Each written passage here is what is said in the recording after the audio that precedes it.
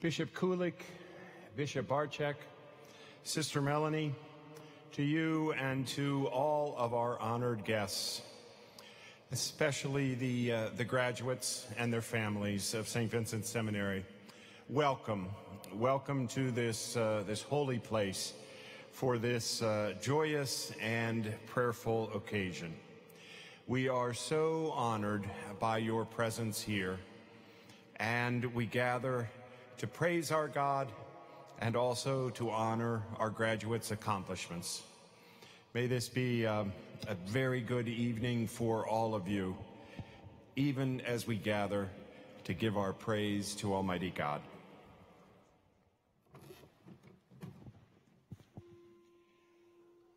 O God, come to my assistance.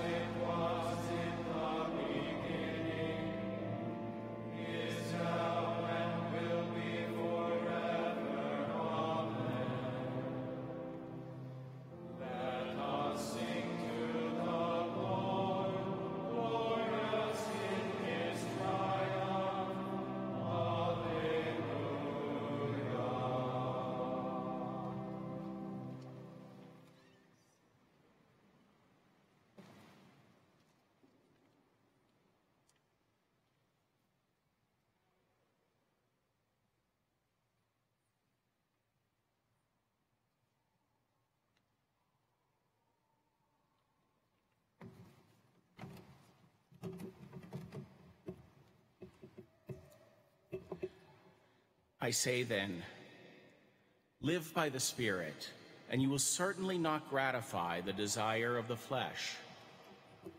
In contrast, the fruit of the Spirit is love, joy, peace, patience, kindness, generosity, faithfulness, gentleness, self control. Against such there is no law. If we live in the Spirit, let us also follow the Spirit.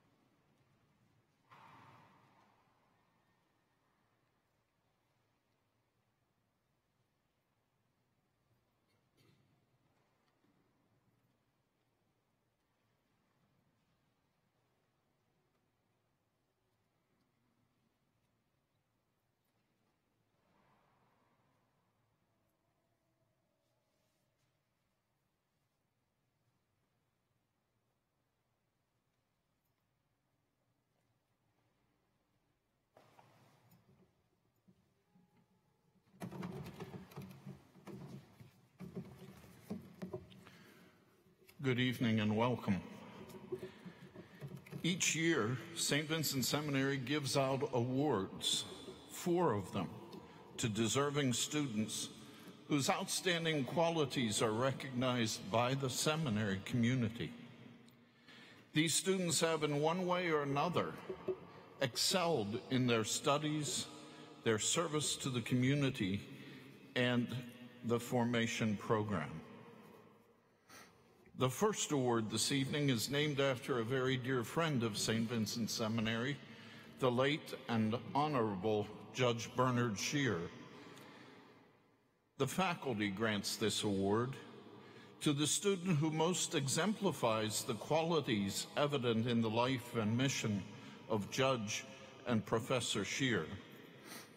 Judge Shear was a man who, above and beyond his legal career, dedicated much of his life to teaching and forming students at St. Vincent College and Seminary.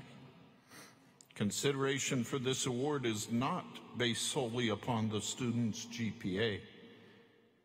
The recipient must also share Judge Shear's dedication to a love of learning, to discerning God in all things, and to sharing the faith with all of God's people. This year's recipient is a highly disciplined student who has earned the respect of both his professors and peers for his commitment to growth in faith, to academic achievement, and to his formation for the priesthood. Please join me in congratulating this year's recipient of the Honorable Judge Bernard Shear Award, Mr. Brendan Harfman of the Diocese of Brooklyn.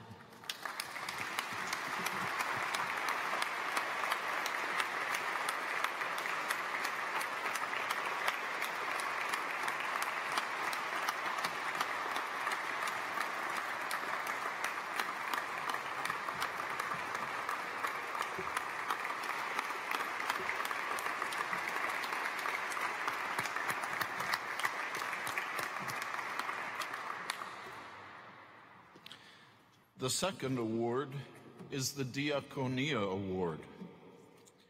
This honors, honor recognizes a graduate whom both the student body and the faculty recommend as exhibiting outstanding academic performance, service to the seminary community through contributing to student morale and spirit, to leadership within the community, as well as creative outreach to others.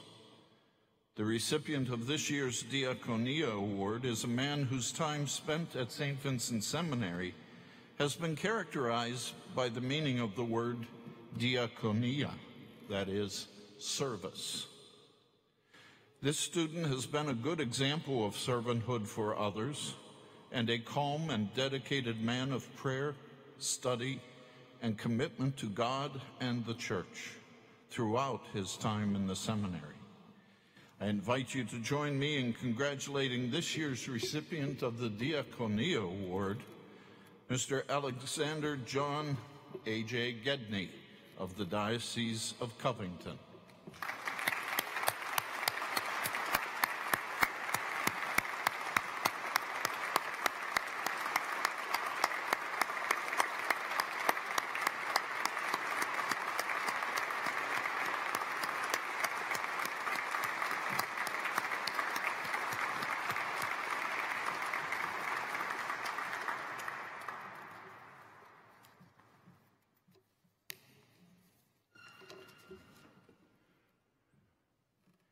The third award this evening is the Demetrius R. Dumm OSB Sacred Scripture Award.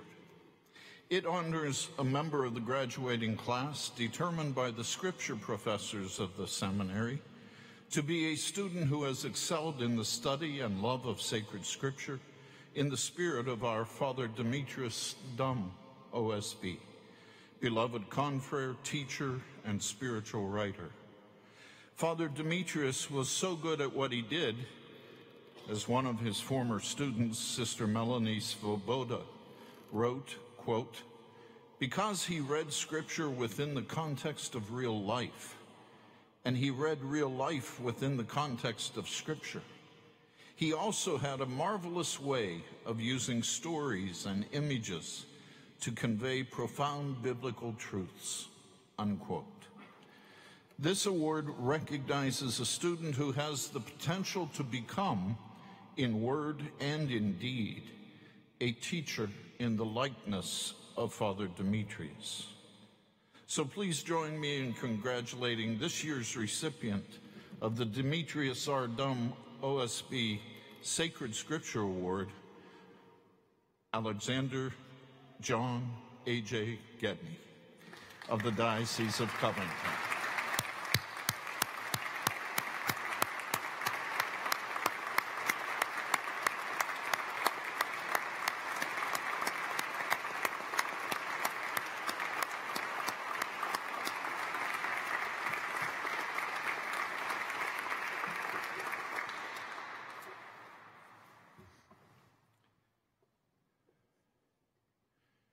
You can sit down now. The final award this evening honors a fourth year seminarian whom the Rector's Council believes has most clearly demonstrated excellence in preaching during his diaconal year. This award is called the Omer U. Kline OSB Excellence in Preaching Award.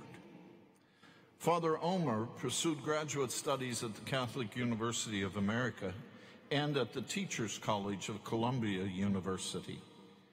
He was awarded a doctoral degree in education specializing in the teaching of speech. At St. Vincent Seminary, he was named an instructor in homiletics in 1960, assistant professor of homiletics in 1964, associate professor in 1968, and finally professor from 1981 to 1987. In 1988, he received St. Vincent Seminary's Nova et Vetera Award for Excellence in Teaching. Since 1991, at each graduation ceremony, a seminarian has received the Omer U. Kline OSB Excellence in Preaching Award. The members of the Rector's Council concur, and I invite you to join me in congratulating this year's recipient of the Omer U. Kline OSB Excellence in Preaching Award, Brother Barnabas O'Reilly, OSB, of St. Vincent Archabbey.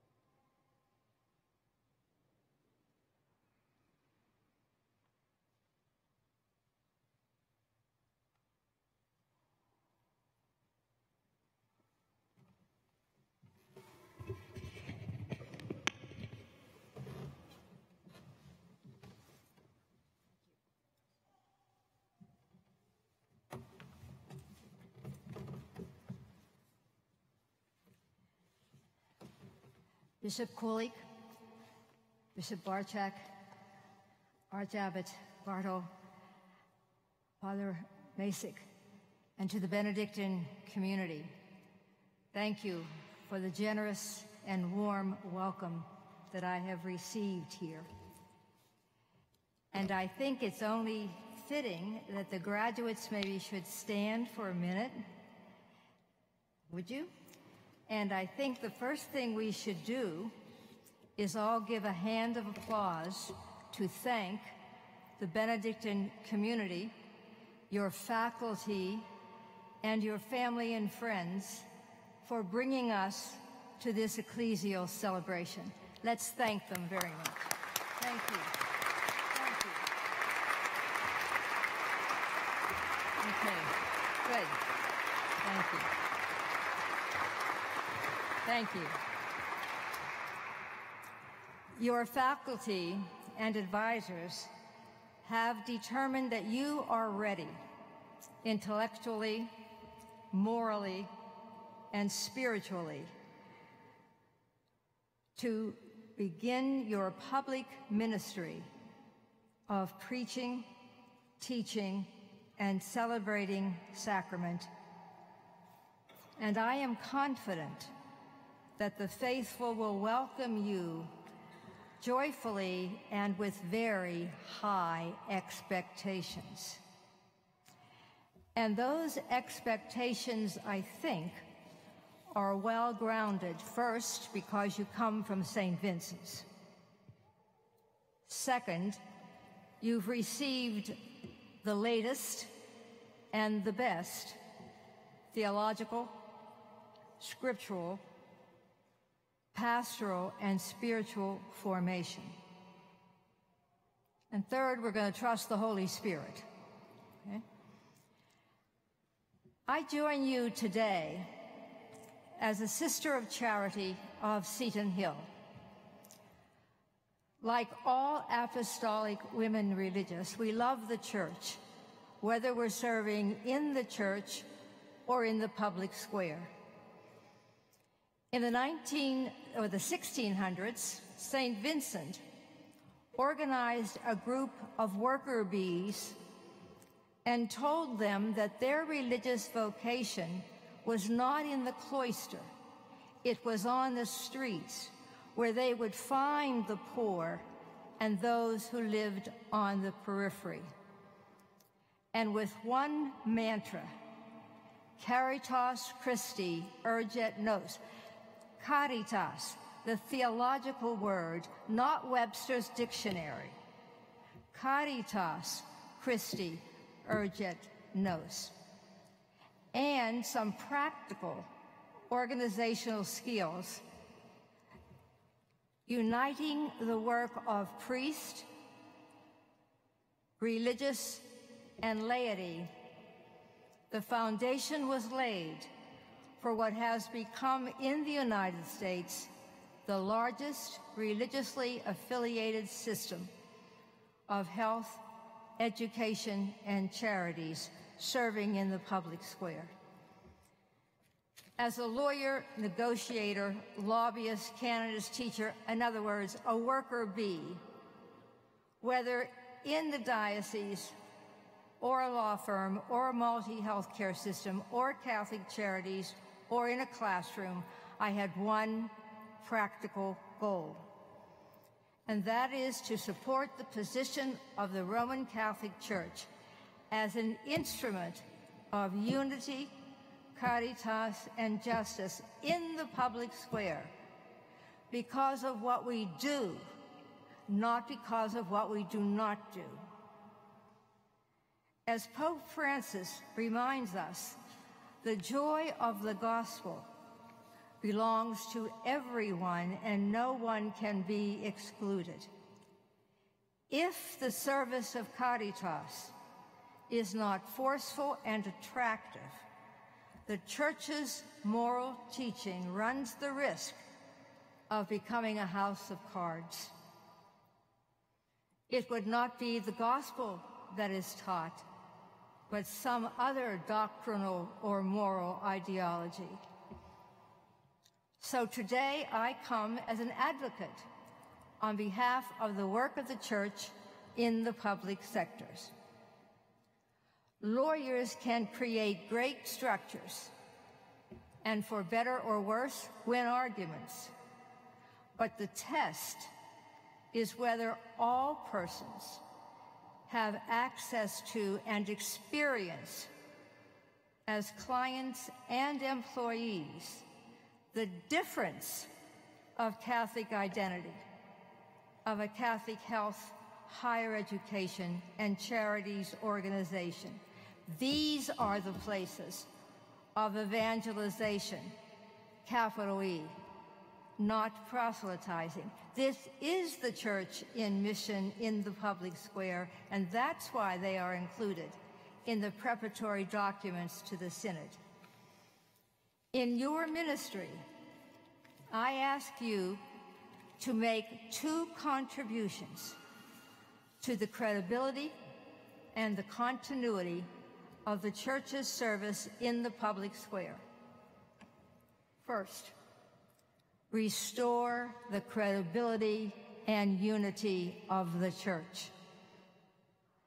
In negotiation, legal advocacy, and teaching, the hidden power is the other person's perception of the facts. If the church within itself or in the public square is not in fact perceived as an instrument of caritas, unconditional loving service and unity, it is more difficult to argue persuasively that church agencies provide a unique good that the church claims is worth exceptions when there may be legal mandates that burden the free exercise of religion. The unity in the church affects the potential of the church in mission in the city streets, which are now appropriately imagined as a field hospital. We, the people of God, live in a real world, in a larger community that we do not control. And it's no secret that the political community suffers from crippling, crippling division over many issues, some of which have been called the culture wars, which affect the very definition and dignity of the person, the integrity of the family, and the civility of the community.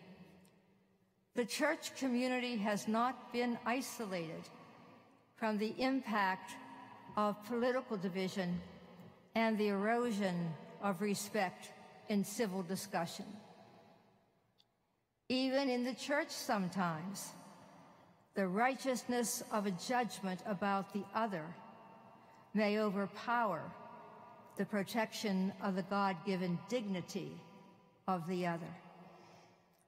Some of the language, partisan positions, and agenda of the political order, I fear, have displaced or at least subordinated the gospel, theological, and social teachings of the church that should form the content, the guidelines, and the criteria of dialogue in the church. For me, it is very problematic when political terms like liberal or conservative are used to identify the other in the church, or when there are attacks on the person of the Pope or on the office of the teaching of the Pope, when the facts are that each Pope builds upon his predecessors. The Vatican Council Fathers were not naive when they recognized that sorrows and difficulties can come from within the church as well as from without. But at the same time, they proclaimed that the power of the risen Lord gives the church the power to overcome these difficulties in patience and love in a church that is both human and divine. In Lumen Gentium, the Council declared that the Church is both a sacrament and an instrument of union with God and of unity among all persons, and that this unity is visible in a community of faith, hope, and caritas through which grace and truth are communicated to all persons, and all means all. Every person is created in the image of God, and there is no qualifying adjective. If some persons, in or out of the church, do not feel included, or do not see, or do not experience caritas, either by the public words or the silence of our leaders or the laity, then the declaration of the church as a sign and a sacrament risks being simply empty statements. Lumen Gentium goes on to say that the church is compared to the incarnation when the visible church, you and me, and the laity are actually instrumental in bringing each other to communion with God and promoting unity in the church and in the public square. We will know it by experience, not by proclamation. My confidence in advocating for the priority of your task to promote unity in the church and in the public square is found again in Lumen Gentium. And I'm quoting, you are to work with bishops and pope to eliminate division and dissension in every shape or form so that all humankind may be led to the unity in the family of God. The Council Fathers went one step further. They offered to enter the dialogue with the human family about its problems and to offer clarity in light of the gospel, and then to bring to those problems the resources of the church. So, what are they? What are those resources?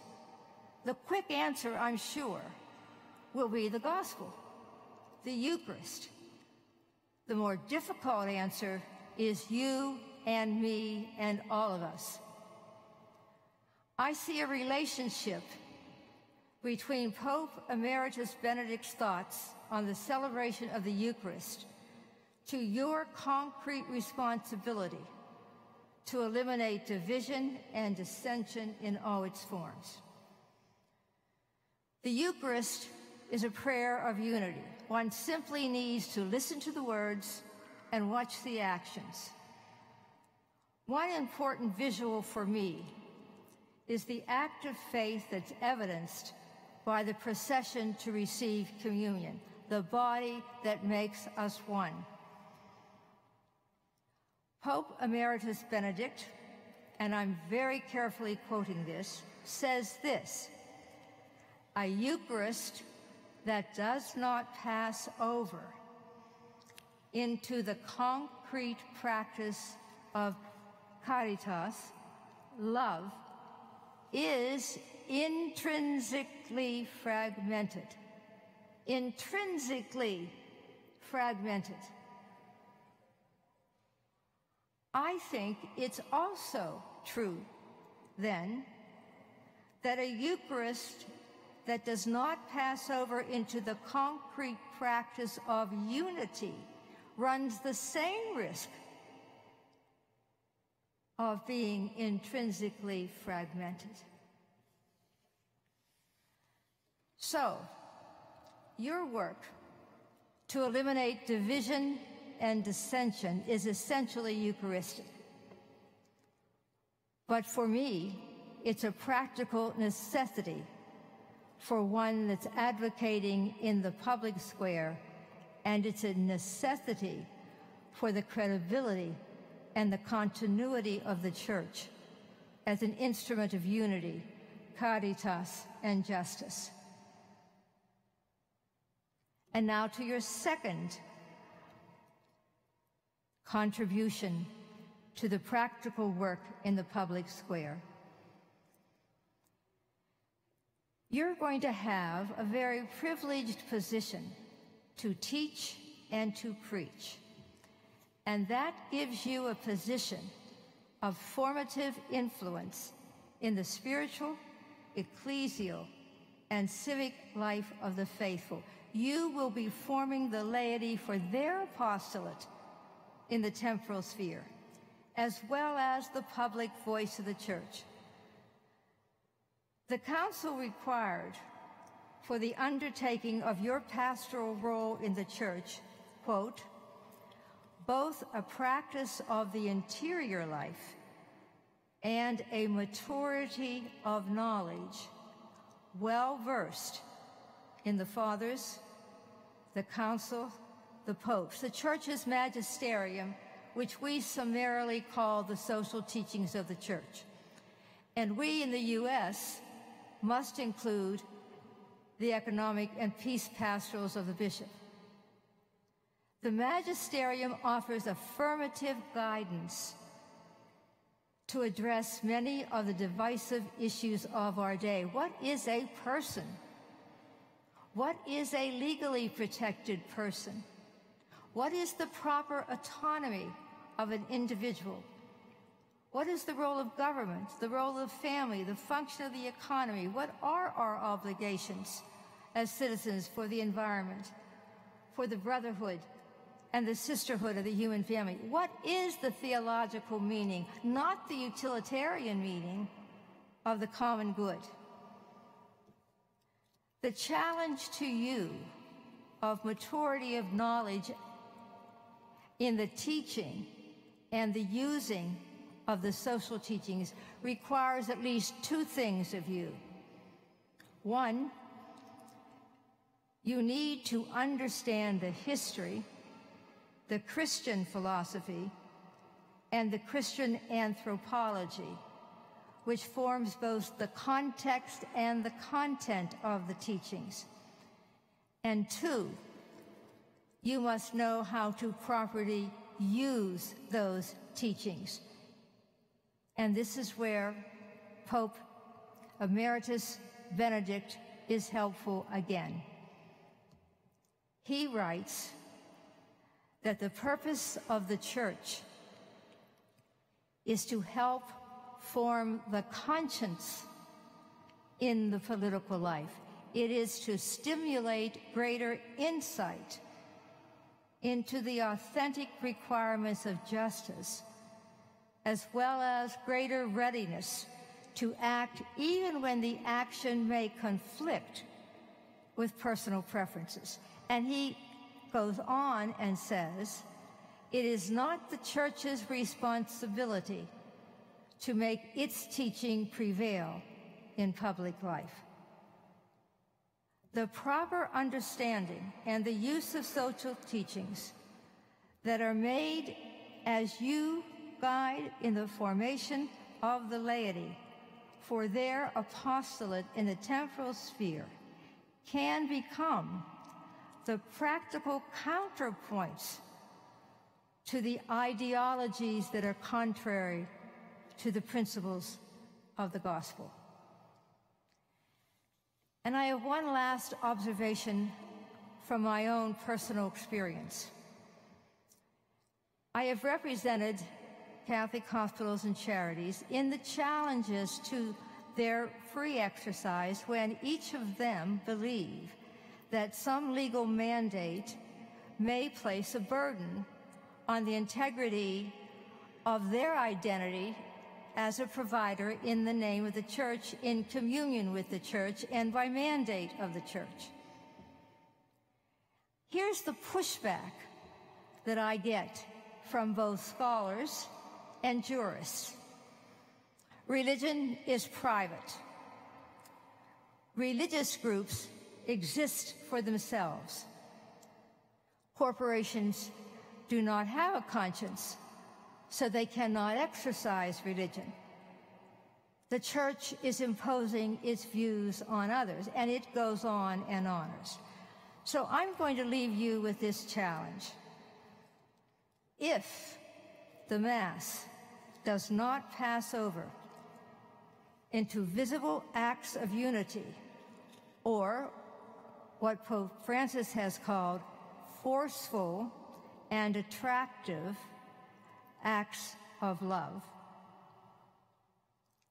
If a political or economic ideology replaces the gospel in the words of our leaders or in the words of the laity, either negligently or willfully, and if the social teachings are not understood and used properly, then by default, do we in the church concede the argument that religion is private and only for ourselves?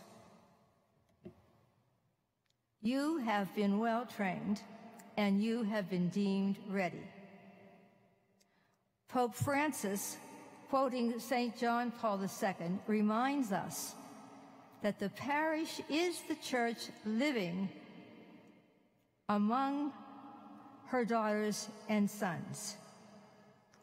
Your ministry to create authentically visible community, to form unity, and to form the laity for mission in the temporal sphere may begin in the parish, but it must extend to the city of God. St. Vincent de Paul started in a parish. So it's with great joy and with very high expectations that this worker bee welcomes you worker bees. Congratulations.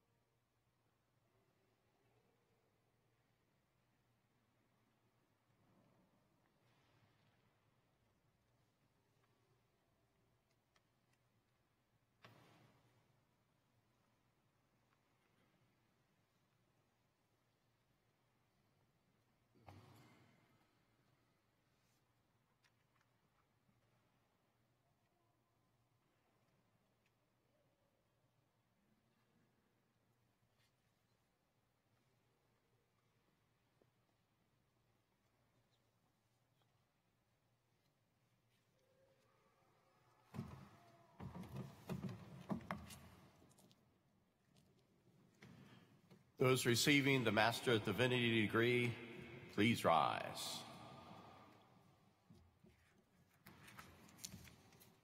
Nicholas James Freitas, Diocese of Erie.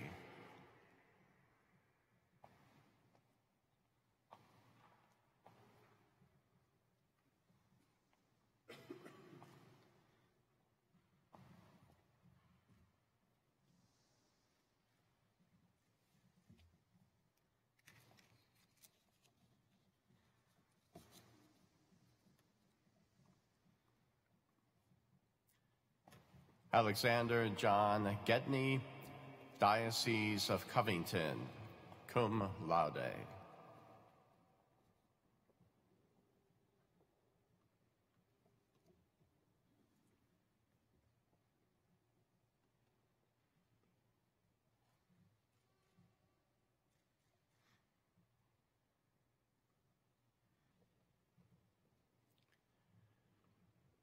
Joseph Chen Guo, Archdiocese of Beijing.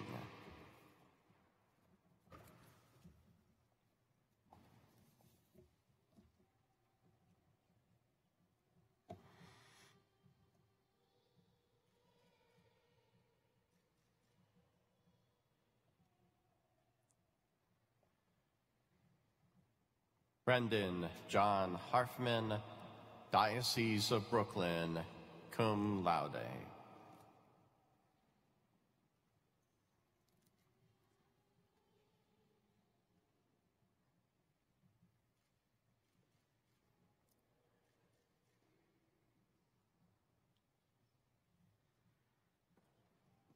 Brother Francis Yuan Jin, Order of St. Benedict, St. Vincent Archabbey, cum laude.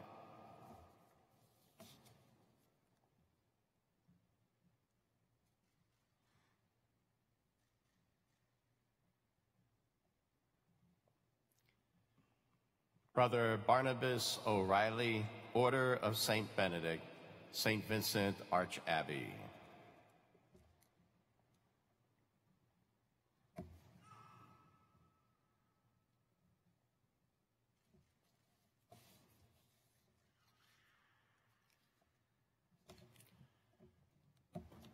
John Stefan Torres, Diocese of Greensburg.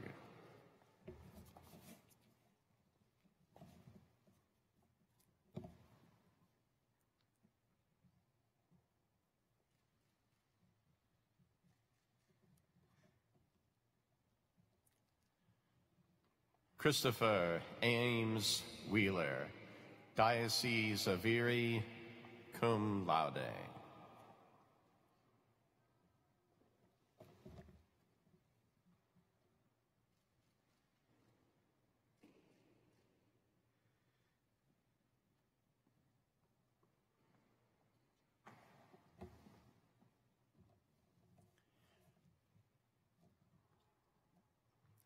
Those receiving the Master of Divinity non-ordination degree, please rise.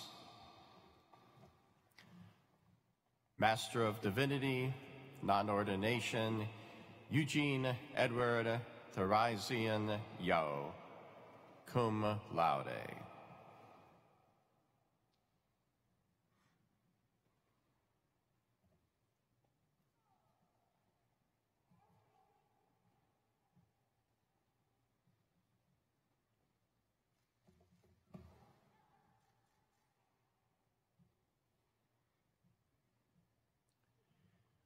Those receiving the Master of Arts degree, please rise.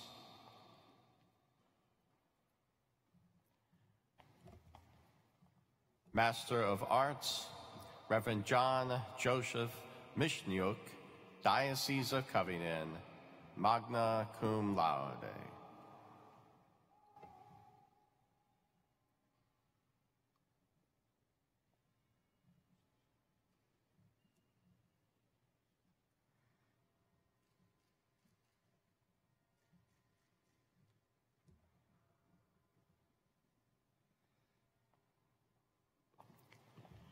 Master of Arts in Catholic Philosophical Studies, Brother Francisco Samuel Whitaker of the Order of St. Benedict, St. Vincent Archabbey, summa cum laude.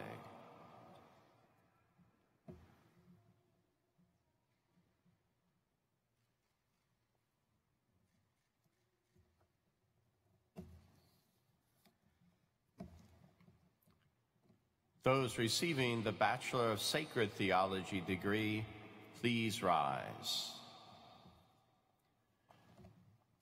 Brother Francis Yuan Jin, Order of St. Benedict, St. Vincent Archabbey, magna cum laude.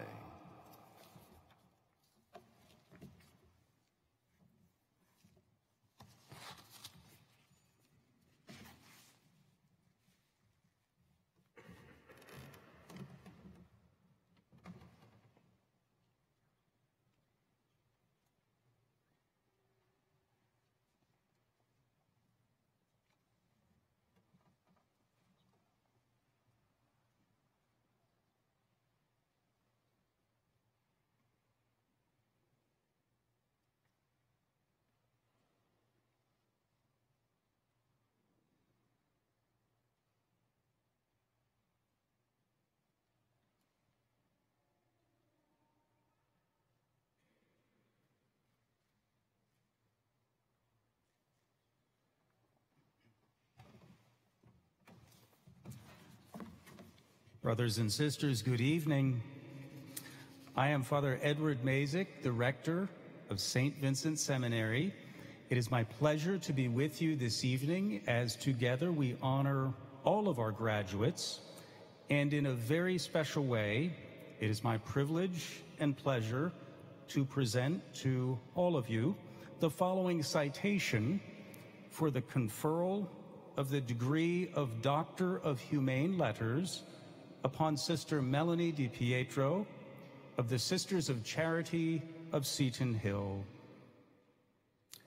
Sister Melannie, the St. Vincent community honors you today for your distinguished leadership and humble servants to the students, staff, and faculty members of St. Seton Hill University, as well as for your many contributions to the Catholic Church at the regional, national, and international levels, your contributions to the practice of law, and to higher education as well.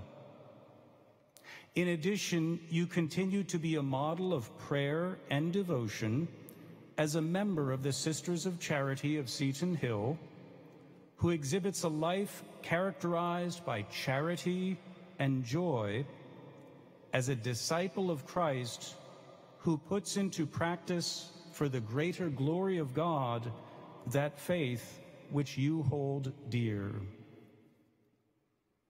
There are many accomplishments to note on the path you have traveled through life. Following your undergraduate studies at then Seton Hill College, you earned a master's degree at Occidental College before receiving your degree in civil law at Duquesne University and your doctorate in canon law at the Pontifical University of St. Thomas in Rome, the Angelicum. Then began a long period of teaching, administrative work, legal practice, and writing, which resulted in expanding and defending the rights of many persons and institutions associated with the Catholic Church and her apostolic works. This practice was recognized through your election to a partnership in a prestigious law firm, numerous publications and honors, and requests for your expert legal counsel from the bishops of the United States and from international Catholic organizations. Along the way, you have always exemplified St. Paul's words, which you quoted earlier in the context of their use by St. Vincent de Paul, the charity of Christ urges us. Those words were so often an inspiration to Mother Elizabeth Ann Seton as well, who took to heart the gospel message and who mastered the art of proclaiming it humbly and unaffectedly through her way of life and through your very way of life. As a critical agent in articulating the role of Catholic institutions in the public square, and as a consistent voice for the downtrodden of our society, you have helped to give shape to the efforts of the Catholic Church in America that in turn have greatly benefited the members of the body of Christ who stand in need in our region, as well as those seeking to live the good news in dioceses and religious communities throughout the United States. Bringing the joyful spirit of the gospel to the classroom, to the boardroom, and to your religious community alike as an attorney, author, advocate, and consecrated religious woman, you have always striven to let the transformative life and teaching of Jesus Christ shine forth for the benefit of all. We honor you today, Sister Melannie, for your gracious efforts to share the hope of our risen Lord with your family, friends, and professional colleagues, and all your co-workers in the vineyard at Seton Hill, here at St. Vincent, and beyond. Inspired by the vision of St. Francis and his namesake, Pope Francis, who call us to integrate our faith and our way of living.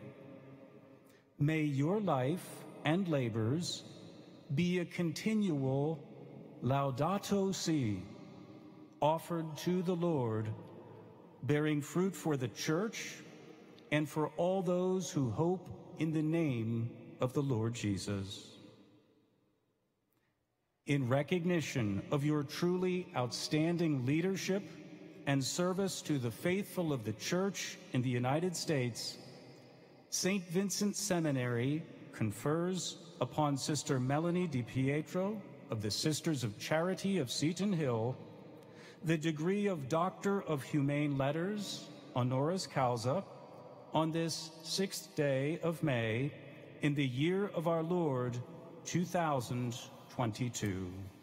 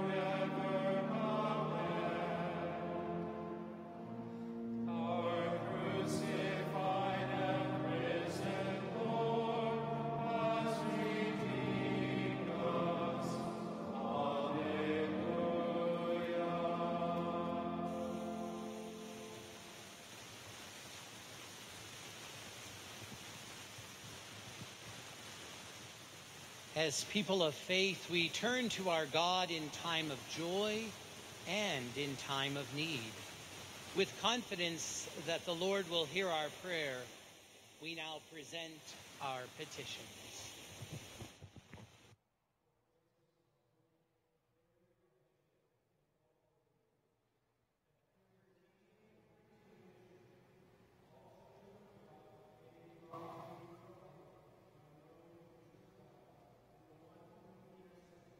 Our Lord Jesus Christ, we pray to the Lord.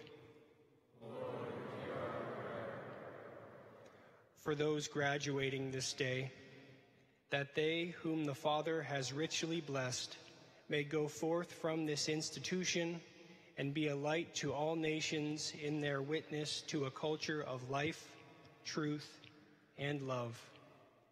We pray to the Lord. For our St. Vincent community, that our communion with Jesus in this holy sacrifice may intensify the presence of his Spirit in our hearts and spread all around us the sweet fragrance of his gifts and fruits in our lives. We pray to the Lord. For the poor, the sick, the grieving, the depressed, and all who have asked our prayers, that as they share in the sufferings of Jesus, the Lord will support and console them in their time of trial. We pray to the Lord. For our faithful departed loved ones, that and those who will die this day, may they dwell in the house of the Lord and contemplate his loveliness in the kingdom of heaven. We pray to the Lord.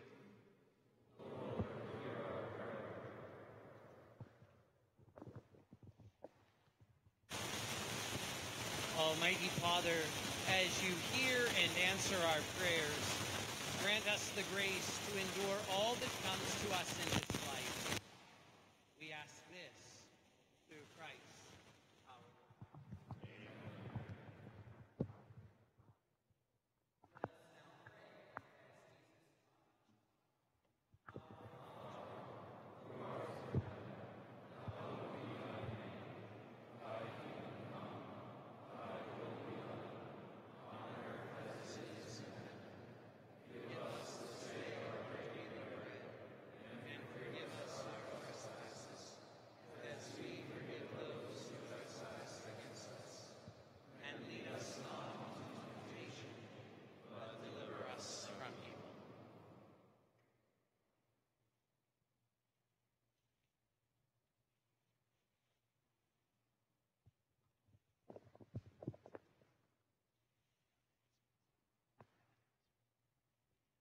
The Lord be with you. Blessed be the name of the Lord. Our help is in the name of the Lord. And may Almighty God bless you, the Father, the Son, and the Holy Spirit. Let us bless the Lord.